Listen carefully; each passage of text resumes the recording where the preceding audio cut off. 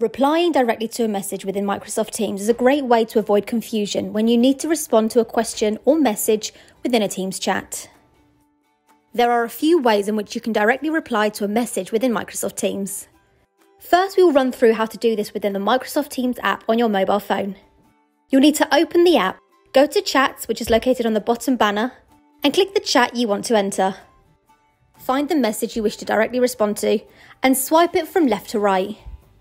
You will notice that it puts that message into your message box at the bottom here. You then have the option to type a response and send when you are ready.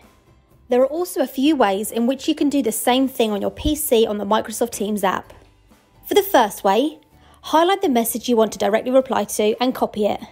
Paste the message you have just copied into the message box and click the Format option which is located on the bottom left of your format box.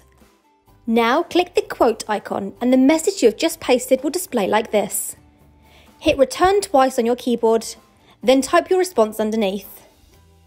Click send once you're happy with the message, and this is how it will be displayed within your Teams chat. The second way for you to do this on your PC or laptop on the Microsoft Teams app is to copy the message, click the message box, but before you paste the message into the message box, click the greater than sign. This will then open a quotation box. Then paste your message you want to directly reply to within this box. Press return twice, type in your response, and once you're happy with your response, press send. We hope you found this video useful.